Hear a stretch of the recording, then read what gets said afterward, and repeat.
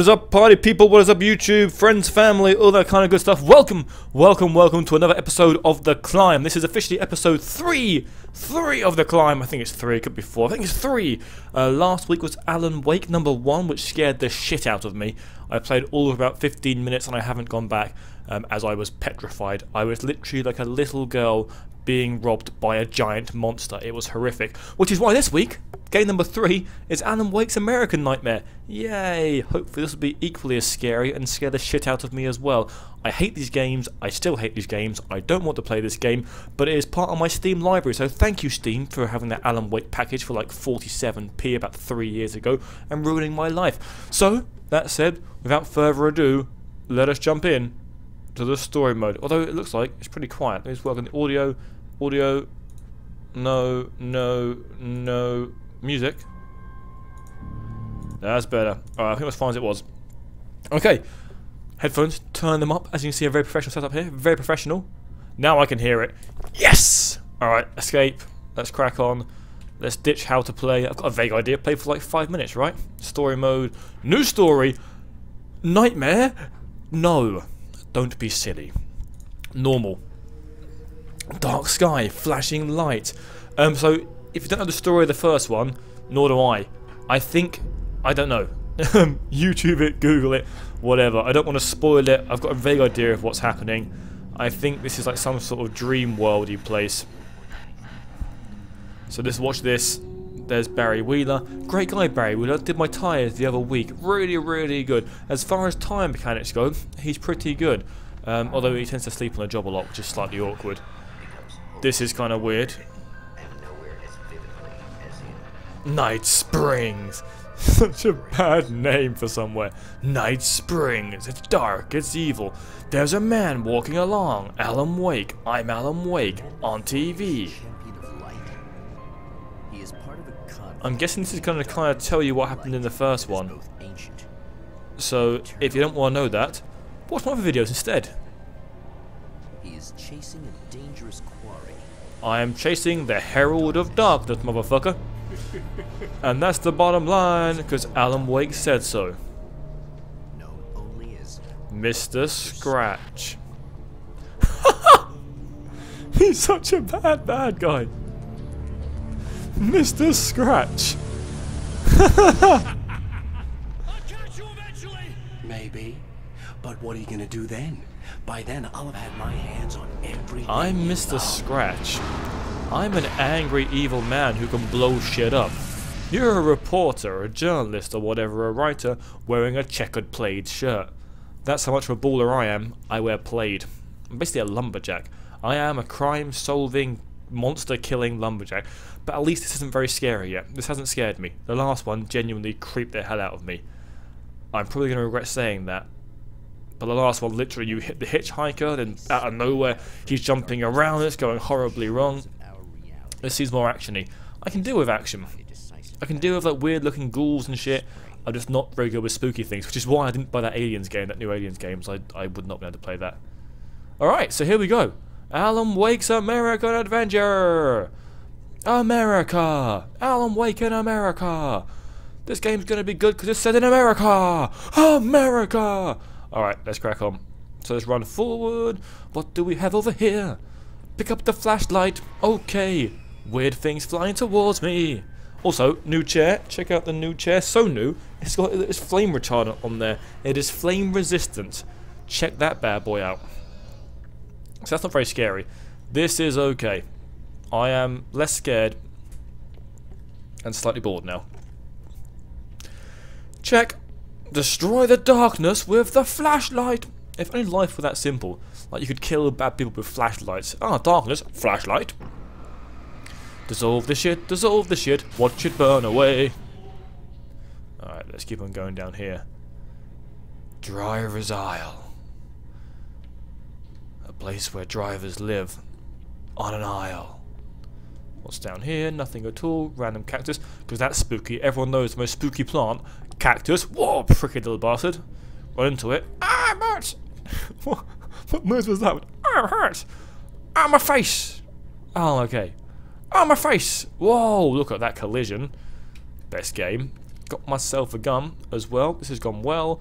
Probably a bad guy appearing here. Who looks very similar to Hitchhiker. Yep, you keep running at me, son. And then I'm going to shoot in the head. See, I'm not scared at all now. He's used to this kind of stuff. I know I just do this and I shoot them a few times. And that's the end of it. This is nowhere near as spooky as previously. I'm probably going to regret all of this and at some point I'm literally going to poo my panties. Not that I'm wearing panties, I'm wearing very manly boxers, thank you very much. I would show you, but I'd probably get banned from YouTube and no one wants to see that. Given that I've only got four viewers, one of which is my mum, she doesn't want to see that. She's seen it all before. She's seen it all before when she was cleaning my bum. The man was a writer. Just yesterday, she was cleaning my bum. Is that art, forging weapons of war out of ideas. Ideas. But the violent currents that brought him here have scattered. Yeah, apparently so. He has written. This is all in my head. And I am mental, but because it's all in my head, I can write stuff to create new stuff. Like this. Pick up manuscript. Manuscript pages provide insight into the story. Uh, weapon cases. You can read them. I can't read. No point.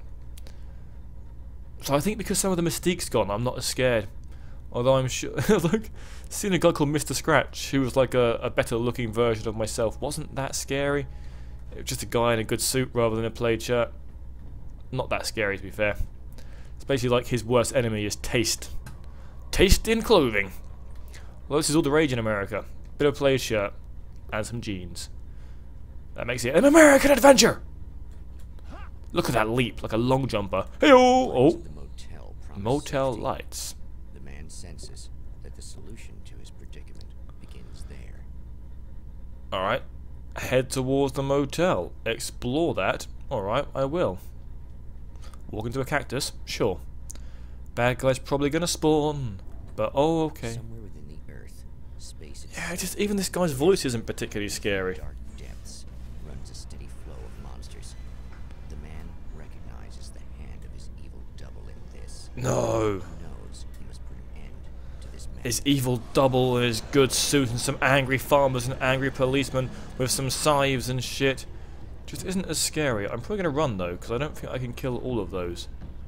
So I'm just going to give it some mad beans. Sometimes running away is always the best option. when is it not the best option? Everyone knows that running away will always save the day. He's now a lot fitter than he was. In the first game, he was like a fat bastard who couldn't run. Look at him go now. Uh, oh god, oh god, fail! That's a fail! I wonder if this helps. Is, is, this is light. Run away! Yeah, see, I'm not very scared right now. I know there's things probably behind me that are closer than I'd like, but it's not doing it for me. Yeah, it's of Havens. Okay. Am I at the motel? No. I am now, though. There's stuff flashing over there. Okay. Whoa, okay, now I'm being retarded. Now I'm slightly concerned. Whoa, what the hell is that? Weapons crate? Yes. Whoa, I can't open it yet. Alright, so I'm running over here. To speak to this hot lady. Hey yo! I love how she's just casually doing mechanical shit whilst I'm being chased by ghouls. There. You remember me, right? I don't remember you. I have no idea who you are. Did I pay for you last night? I, I probably did. Do I owe you money? I mean, I can't remember. I was high on drugs at the time. I was very, very drunk. And you said you'd be reasonably priced and that you'd put out a lot more than you did. You were like, look, just for $10, I will be yours. I will do whatever you want. I gave you 20 and you didn't really put out. I mean, I wanted a little bit of bum fun. You or me, that is. I mean, I, I didn't want to go near your bomb. I wanted to go near mine, and, and you wouldn't do it. So I gave you $30. Next thing I knew, I'd passed out. I was being attacked by clans and creepy guys, and it was just rubbish all round. They're dangerous. Stay out of the way. They're they're dangerous monsters. The light is your friend. I mean, this is. It's not doing it for me. I am already bored. I'm sure it's an excellent game, but it just doesn't give me that oomph like the first one did. The first one genuinely scared the crap out of me. Whereas this one, um, yeah, it's just like me running around. I've, I'm seeing a car from Grease. It's ha dramatic. It's systematic. This car um, could probably be Grease Lightning. Anyway, uh, yeah, so I think I'm, I'm probably done. As I, this game is boring me, but I can tick it off the list of the climb. Yes. The So I think if you probably paid destroy the dark or played even the whole of the first game and understand what's going on, this would be less retarded. Um, but because I haven't, this now makes very little sense to me and just seems generically average. Oh, although let's run towards the question mark. Like like question marks, question mark, question mark, question mark. Yeah, this just feels like more like an open sort of world kind of a game now. And that shit's going to appear, I'm probably going to kill it, and that's going to be the end of it. Oh hell, this isn't gonna be good. Is this? Let's watch this, and then we're done. It's just me being evil to someone. It's not a gadget, it's a TV, you tard. Oh, this game's like five years old, but even you should know that. Oh, he's turning it around. So is he in the real world? I'm guessing he could be right with you. I just gotta do this one thing. That's kind of cool if he is. That's quite a cool concept if he is in the real world. I like it quiet. And I'm not. But I don't know. So first is kind of my fault. This could be a great story if I had just bothered to play the first game fully and understood what was going on. I bet you're wondering why this is happening. Why am I doing all I want to see this. Why are you ruining my life? ruining your life? I do want to know this, and you're going to find out as well. You're cramping my style. You've got money, fame, everything you could want. Ah, it. This is fair. If I had money, fame, and style, I would probably bag random men and leave them in my bedroom. Or not. Alright, come on now.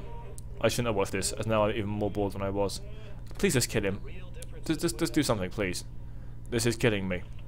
And anyone else who's still watching this is bored as well. Yeah, okay. Thanks for that. Well, they're real actors. They have like genuine bona fide actors doing this. I mean, get some information out of him earlier. He's gonna kill him. This is just for kicks.